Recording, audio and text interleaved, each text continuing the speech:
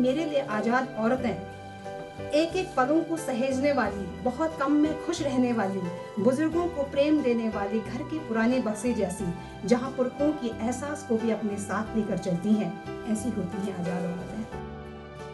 ये हैं उत्तराखंड मुक्त विश्वविद्यालय की वित्त नियंत्रक आभा गरखाल बोहरा और मौका है अंतर्राष्ट्रीय महिला दिवस की पूर्व संध्या पर विश्वविद्यालय के सभागार में आयोजित विचार गोष्ठी का। दोस्तों अंतर्राष्ट्रीय महिला दिवस जो कि महिलाओं के अनवरत संघर्ष का एक ऐलानिया दिन है। हमारी पूर्वज महिलाओं के संघर्षों का ताप महसूस करने का खास दिन। ये दिन हमें याद दिलाता है कि घर की दहलीज लांघकर जो महिलाएँ आज हर क्षेत्र में अपना परचम लहरा रही हैं, वो इसी तरह के किसी दिन और हमारी उन पूर्वज महिलाओं के साहस की बदौलत ही संभव हो पाया।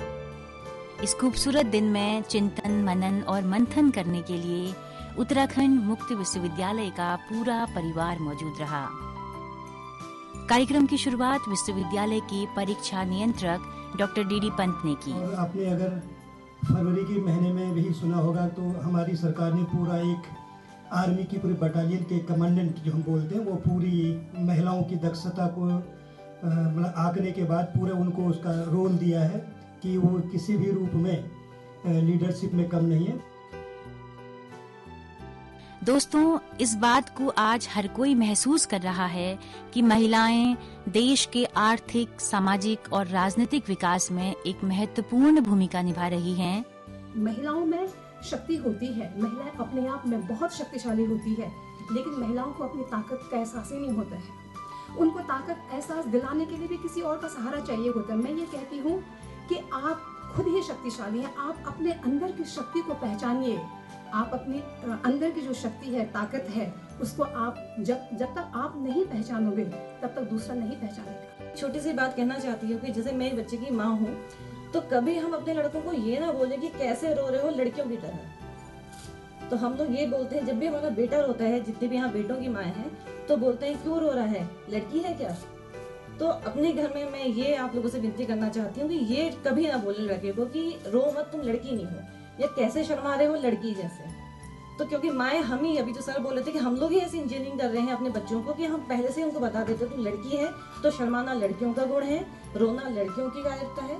तो लड़का है, वो भी रोएगा, क्योंकि उसमें इमोशन है, जिसमें इमोशन होंगे, वो रोएगा भी, वो गुस्सा भी करेगा। तो लड़कों की परवरिश हमें शुरू से ही ऐसी करनी चाहिए कि कल को उसको लगे ही ना कि जो लड़की है, ये मुझसे अलग है। तो वही लड़का जब कल को किसी का पति बनता है तो तब मुझे लगता है कि कोई समस्या नहीं होती है कि उसको पता है कि ये मेरे बराबर की ही साथी है।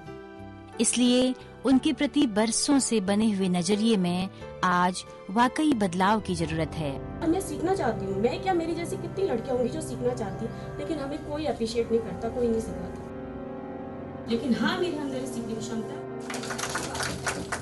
ऐतिहासिक ऐलान का दिन है दोस्तों। ये जो 8 मार्च है, जो महिला दिवस है, एक ये औद्योगिक क्रांति से उपजा हुआ है। ये श्रमिक महिलाओं का दिन था, ये कामगार महिलाओं का दिन था। नागेंद्र जी ने जितनी खूबसूरत तरीके से बात रखी है, जितनी शिद्दत के साथ में, मैं चाहती हूँ कि हर एक व्यक्ति, हर एक महिला हमारी उस शिद्दत को समझे कि सिमोन तो बउआ जब कहती है कि स्त्री पैदा नहीं होती है, बना दी जाती है।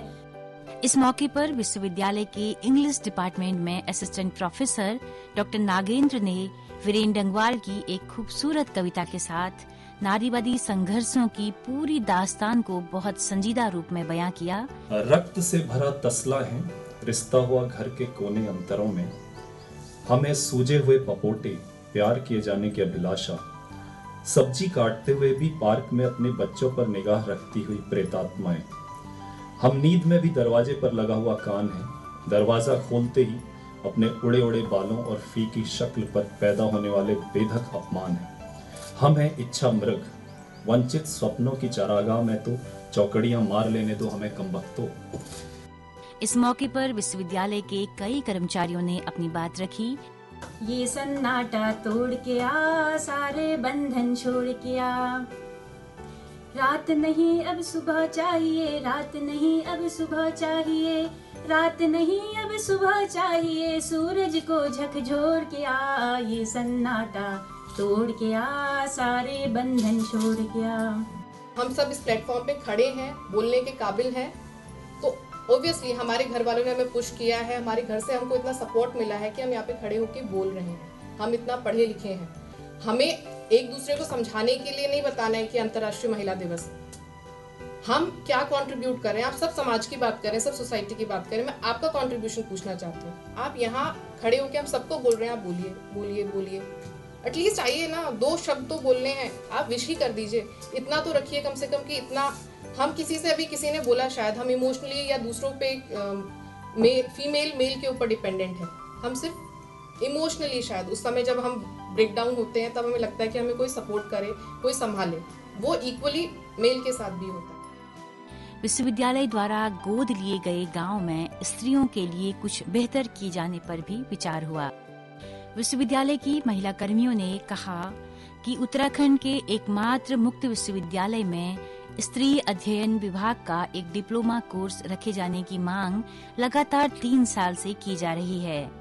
जिस पर विश्वविद्यालय के कुलपति ने बहुत सकारात्मक रुख अपनाते हुए इस कोर्स के संचालन की हामी भरी। और ये अच्छी बात है। Role of the women's in the development Uttarakhand इस पर ऐसा कोर्स खोल सकते हैं। और इसकी ज़िम्मेदारी शिक्षा विभाग में असिस्टेंट प्रोफेसर डॉक्टर ममता और मनोविज्ञान विभाग की डॉक्टर सीता को दी। इस अवसर पर विश्वविद्यालय की महिला कर्मियों ने विश्वविद्यालय में बच्चों की देखभाल के लिए एक क्रेश खोलने, एक शिशु गृह खोलने की मांग भी की, जिस पर कुलपति ने विचार करने को कहा। इस अवसर पर दोस्तों, विश्वविद्यालय की क्षेत्रीय निदेशक रेखा ने महिला हिंसा कमेटी की राष्ट्रीय संगोष्ठी से लौटकर अपने अनुभव भी साझा किए। नारी दिवस, बस एक दिवस। क्यों नारी के नाम मनाना है? नारी दिवस बस एक दिवस क्यों नारी के नाम मनाना है? हर दिन हर पल नारी उत्तम मानो, यह नया जमाना है। मतलब हम एक ही दिवस क्यों मनाते हैं? हर दिन हर उसमें हम मतलब नारी की रिस्पेक्ट ये सब चीज़ें होनी चाहिए। अपनी पुरानी परंपरा को निभाते हुए विश्वविद्यालय ने इस बार भी दो महिला कर्मी दीपा फुलारा और कमला राठौर को उनके विशेष कामों के लिए सम्मानित किया।